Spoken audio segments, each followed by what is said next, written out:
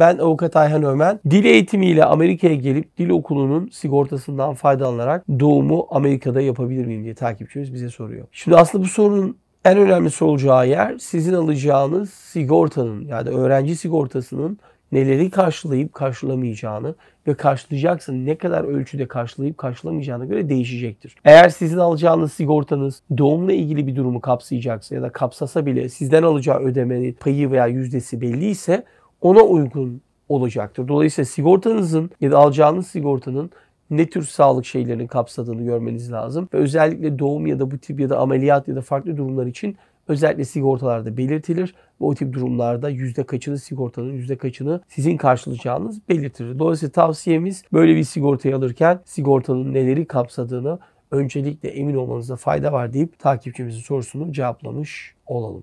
Müzik